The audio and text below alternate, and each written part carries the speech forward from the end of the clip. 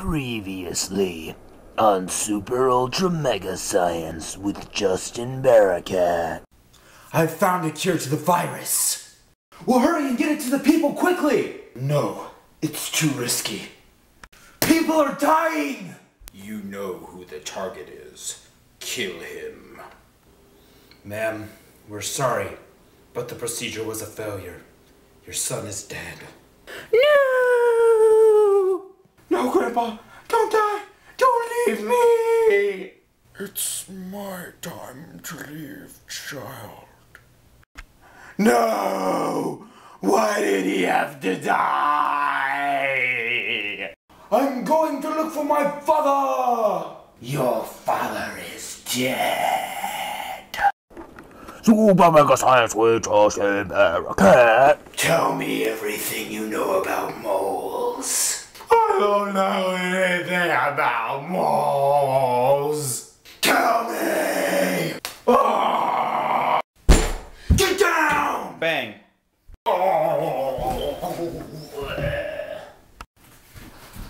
Slupinski, are you okay? Yes, thank you for saving me. Two weeks later. Slavinsky, what did he try to get you to tell him? Uh, he kept he kept asking me about about something he called he called moles. Moles?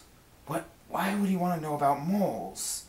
I don't know, he kept asking me. What what what even is a mole? Uh, well, here, let me get my trusty dusty computer that is conven- so conveniently placed for me and see. Uh, mole, mole. Uh, Google.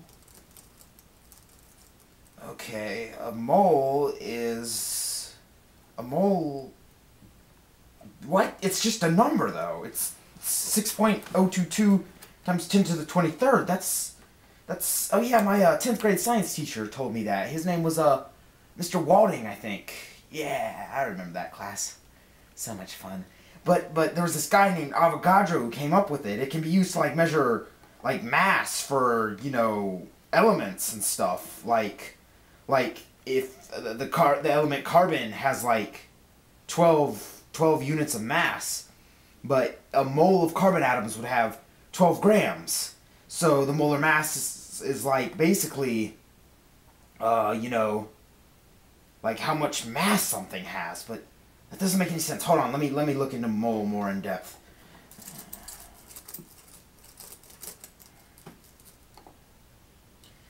Molar volume, so it's not just for mass, it's also for volume. The molar volume symbol is Vm. Okay, that makes sense. It's the it's the volume occupied by one mole of a substance. But but that why why would Dr. Sorenstein want to know that? what what why what what did you figure out? Okay, Slavinsky, let's think about this for a second. Berenstein sounds like what? What? Sounds like Sorenstein. The Berenstein Bears were known for having hospitality. Oh, okay, what does that have to do with anything? Well, you see, pyro pyrokinetic kinetic people also have lots of hospitality. Okay, and pyrokinetic people can use fire to their advantage. Yes. Bombs also cause large fires. Uh huh. So Dr. Sorenstein must be trying to create a bomb! we have to warn the government! Gentlemen, one of our agents was captured, nay, but three weeks ago. Whilst he was captured, we learned that the enemy, one another one of our agents came and told us that the enemy is trying to make a bomb. Gentlemen, what do you propose that we do? Justin, time for cookies. And you can bring your doll friends with you too. Oh God! Why are you annoying us? I'm trying to have a council of war here. And they're not dolls. They're action figures. God! Ugh. Ugh, God! Okay, gentlemen. Well, after that little interruption, what do you suggest that we should do? I have a suggestion. Okay, what is it, Mr. Panda Bear? I think we should send some representatives from our organization up into space to check out Dr. Sorenstein's secret space lab. That is an amazing idea. Later, in space. That's no moon. You're right! It's the mothership! Wham, wham, wham, wham!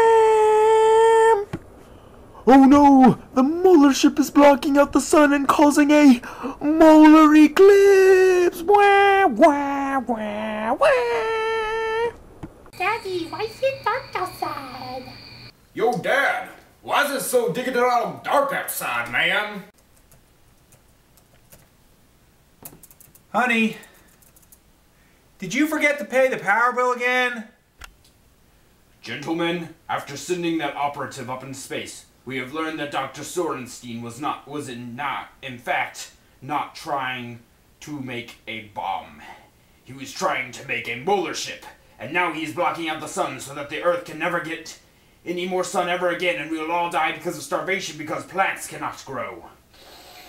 We must use the laser.